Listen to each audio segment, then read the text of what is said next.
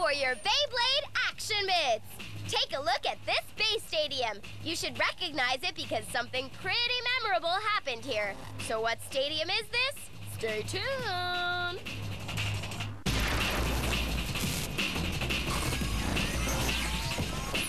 Get your Beyblade Action Bitz!